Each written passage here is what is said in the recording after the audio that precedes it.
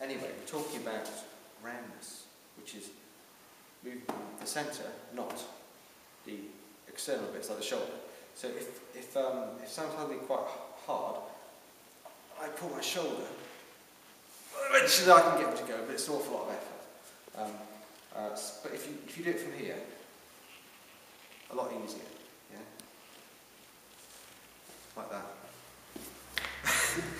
And you can put on the floor too, which is nice. Um, but it's also through coordinating the weight. So if you look at my feet, as I pull here, if I don't, if I put my weight here and then try to do it, that's not going to work either.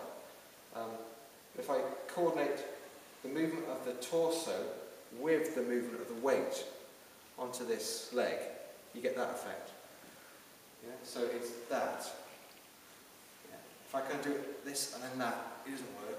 If I pull here, it doesn't work. As long as I turn it from here, yeah, nice and easy.